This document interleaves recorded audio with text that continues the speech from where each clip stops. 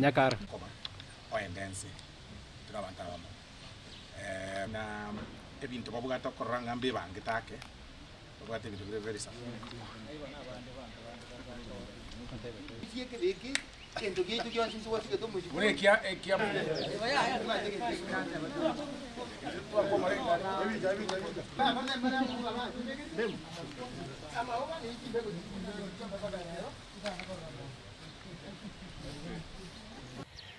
We've shared much. They are hell bent on having it tabled tomorrow in the county assembly.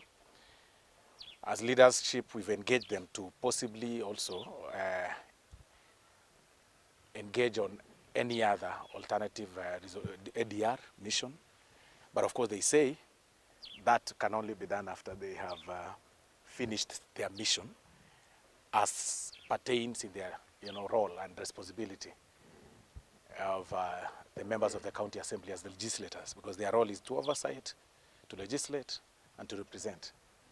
And they tell me that they'll be doing their oversight. And that oversight will be done through enforcing the Section 33 of the County Governments Act. They believe that they have substantial grounds to impeach the governor under Article 181 of the Constitution of Kenya. And, um, but even as they do that, we continue begging them that even as they continue engaging and pushing for the agenda of, of uh, impeachment, they also embrace ADR and negotiations and discussions, even as they continue the debates. We have uh, taken some time to discuss with uh, Mheshimiwa Osoro over the various issues why we have uh, finally decided to impeach the governor. His Excellency uh, Amos Nyaribo.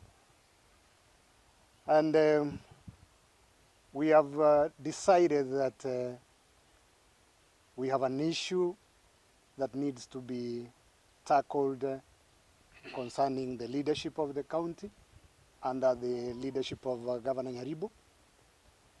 And therefore, we believe uh, um, Honorable Soro has gotten uh, reasons why we are impeaching the governor. The, the, the motion is to be tabled tomorrow in the assembly. And above uh, the many reasons why we are impeaching the governor is abuse of office.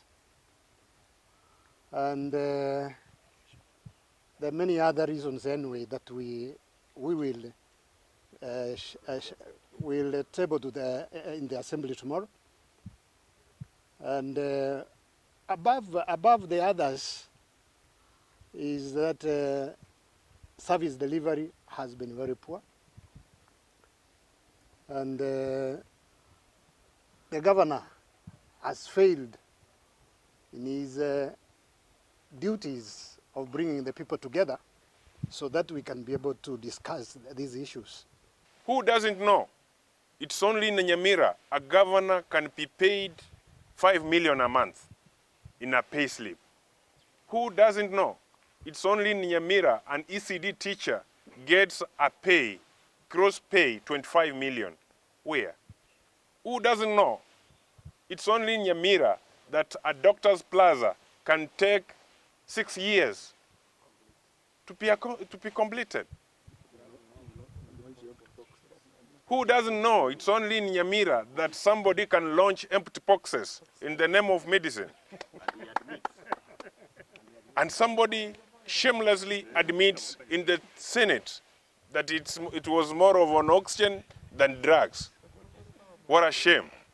And as from tomorrow morning, our motion will be now a public document. Whoever needs a copy, whoever needs what it takes or what it is contained in that motion, see the clerk, visit the clerk.